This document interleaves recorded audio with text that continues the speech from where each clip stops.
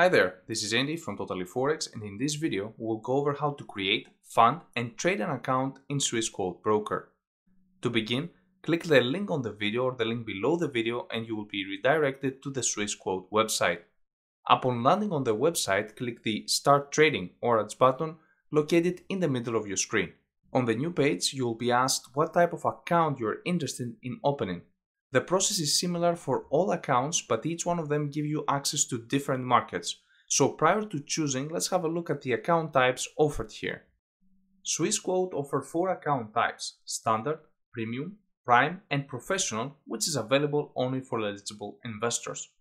The standard account has spread starting from 1.5 pips, the premium from 1 pip, the prime is lower at 0.85 pips, and the professional account has pricing based on volume.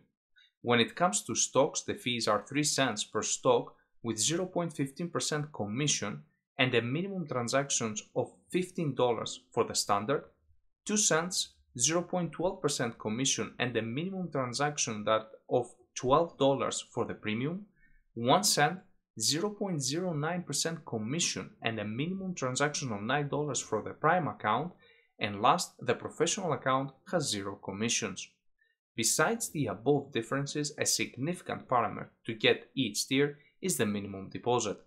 Standard is at $1,000, Premium at $5,000, Prime at $50,000, and last, the professional requires a deposit of $500,000 or half a million dollars.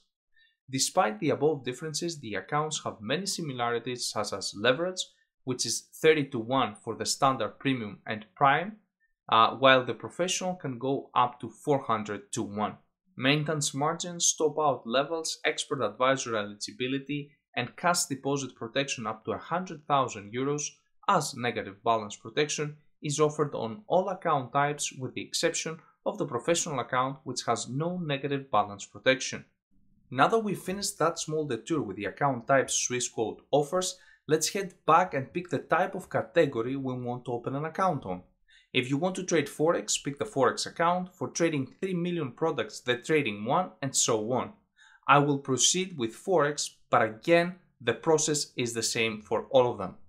Great, on this step you will be asked to enter your personal information. As mentioned earlier, dependless of what category you pick to open an account, this is the standard procedure for all of them. So please proceed and fill in the info asked, such as the first and last name, marital status, date of birth, nationality, legal address, and so on. To note here that the information used on this video is not real, as this is a dummy account. Having said that, and once you have filled all the info asked, click Next Step. In this step, you will be asked to provide information about your client profile, which includes employment status, tax residence info, and so on.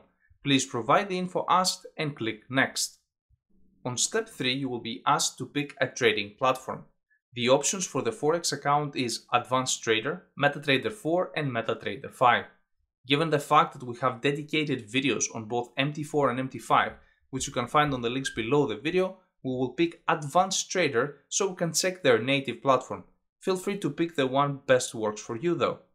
Beside that, click what applies best to you on the wealth questions and once you finish, click next to review our entire application. Here you can check step by step the info you entered and if you spotted any mistake you can head back and correct it. If you have entered all the info correctly, click submit. Congrats, your applications to open an account has been completed. Note here that at the end of your application you will be given a username. Please keep that as for your password, you will receive it through email or SMS, depends on what choice you made before. So click continue to authentication. You will be given a few options to verify yourself, which can be online, through video identification or by post. Clicking the online identification, which we believe is the easiest and it is recommended by Swissquote here, will ask you to provide certain info from your ID card or passport, which is common for all the brokers these days. Then you will be asked to read and agree on a contract about opening an account, as well as provide a proof of address. That can be a utility bill, for example. Last, you can upload the required documents or any other supporting document. Assume you provide all the necessary ones, your account will be verified within hours. Now let's go back and log into our account and check what the platform looks like.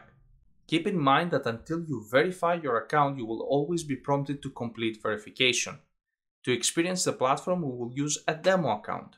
To open a demo account, it's much simpler. Head to the main page, click Start Trading, and then Demo Account. You can sign in with your Google or Facebook account or just create an account. Fill in the info and click Submit. Congrats! You can now access the platform.